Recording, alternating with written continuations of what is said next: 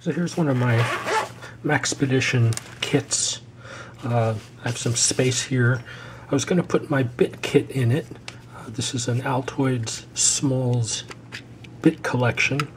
Kind of gives me universal screwdriver use. I have it in what I call a squash clamp. This one is one meter of duct tape, so it's both the supply of duct tape and my bit kit. Uh, but I'm thinking, uh, what if I want it a little slimmer? Uh, so I'm going to make a thinner squash pack for this box. I thought I'd show how, how I make them.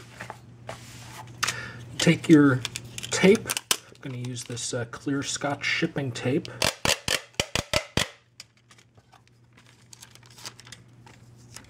First we do sticky side out. So this would work, but it's sticky on the outside, so now we put another layer of tape to keep it from being sticky on the outside.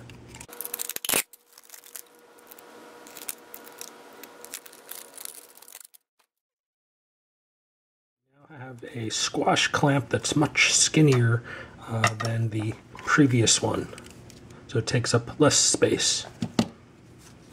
And if you want, you can trim this down. It doesn't really need to be this big.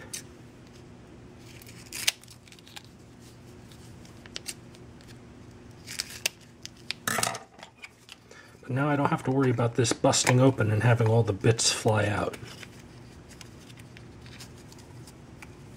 So that's how you make a squash clamp.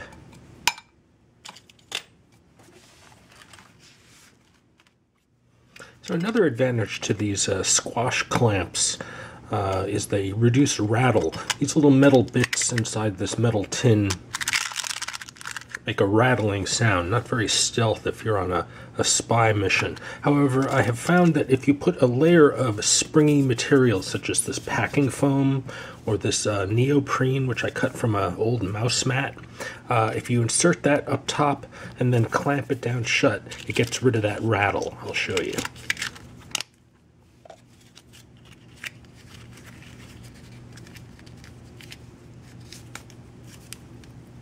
Dead silent.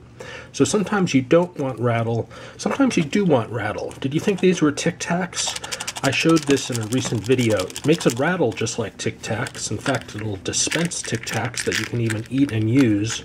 However, this is not a Tic Tac box.